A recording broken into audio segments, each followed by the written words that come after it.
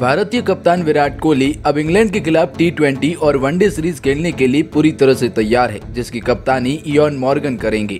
जो रूट की कप्तानी में इंग्लैंड को टेस्ट सीरीज़ में हार मिली थी, लेकिन मॉर्गन की टी और वनडे टीम को हराना विराट के लिए बड़ी चुनौती होगी। अब भारत को पाँच मैचों की टी सीरीज़ खेलनी है, जिसकी शुरुआत 12 मार्च यानी शुक्रवार से होगी टीम इंडिया को उसी की सरजमी पर हराने के लिए इंग्लैंड टीम ने चली है एम एस धोनी वाली चाल। जी हाँ इंग्लैंड के इस दिग्गज ने बढ़ा दी है भारत की टेंशन। वहीं इंग्लैंड के तेज गेंदबाज जोफ्रा आर्चर ने इंग्लैंड के पूर्व दिग्गज खिलाड़ी माइकल वॉन को जमकर फटकार लगाई है। माइकल वॉन टीम इंडिया को लेकर भी काफ़ी कुछ बयान करते रहते हैं और उसके बाद चर्चा का विषय बन जाते हैं। लेकिन इस बार तो ऐसा हुआ कि माइकल वॉन को इंग्लैंड के ही खिलाड़ी ने जमकर फटकार लगाई है। और बहुत कुछ कहा जिसे सुनकर हर भारतीय हैरान है। वीडियो में आगे बढ़ेंगे और जानेंगे वो भी। हाँ सब कुछ जानेंगे इस वीडियो में आगे बढ़ेंगे, लेकिन वीडियो में आगे बढ़ने से पहले अगर आप भी है टीम इंडिया के बहुत ही बड़े फ़ैन तो वीडियो को लाइक करके अपना सपोर्ट ज़रूर दिखाएँ।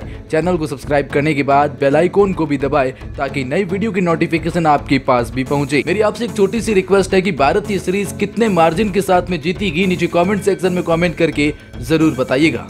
अब ये जानने से पहले कि इंग्लैंड ने चली एम एस धोनी वाली चाल दिग्गज ने बढ़ाई है भारत की टेंशन लेकिन उससे पहले आइए जानते हैं जोफ्रा आर्चर ने किस तरह से इंग्लैंड के ही पूर्व दिग्गज को लगाई है फटकार। इंग्लैंड क्रिकेट टीम के तेज गेंदबाज जोफ्रा आर्चर ने पूर्व कप्तान माइकल वॉन को आड़े हाथ ले लिया है। तेज गेंदबाज जोफ्रा आर्चर ने पूर्व कप्तान माइकल वॉन पर करारा प्रहार करते हुए कहा, इस तरह की टिप्पणी करना कि वो प्रतिबद्ध नहीं है, ये तब लागू होते हैं जब आप 110 फ़ीसदी नहीं देते हैं।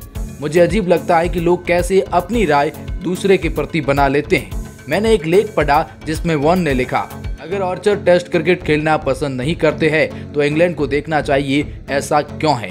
हमारे बीच क्रिकेट को लेकर कोई बात नहीं हुई है, ऐसा कहना है जॉब आर्चर का।